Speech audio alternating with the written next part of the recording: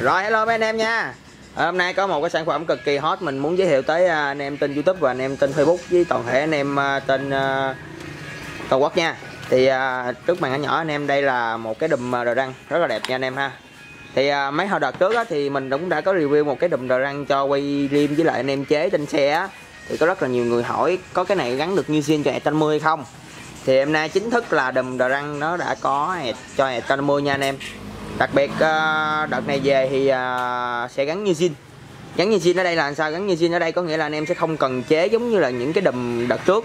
À, và nó sẽ tặng cho anh em được hai cái ống chỉ dài ngắn trước và sau. Trong khi đó nó sẽ tặng kèm cho anh em thêm bốn cái bạc đạn cho anh em gắn sử dụng thoải mái trên con xe 150 không chế bất kỳ gì hết. Thì lần sau anh em sẽ đi cụ dĩa zin nè như zin ha. Và trước á, thì anh em sẽ xài đĩa bốn lỗ nha anh em. Cái này mình xuống bánh căm á, đi rất là đẹp nha à, cái này à, anh em nào mà chơi bánh căm tính đồ bánh căm đang trở lại thì đi cái đùm mèo cực kỳ đẹp luôn nha. Thì à, cái đùm này mình bán giá là một biết nha. Nếu anh em nào muốn có nhu cầu mua hàng trực tiếp thì cứ việc à, liên hệ à, số điện thoại hoặc là fanpage facebook.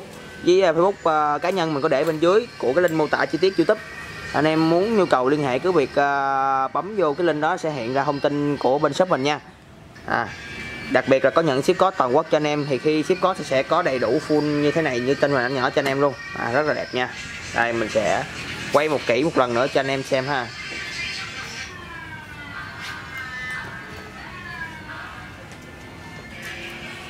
À, rất là ok nha anh em ha.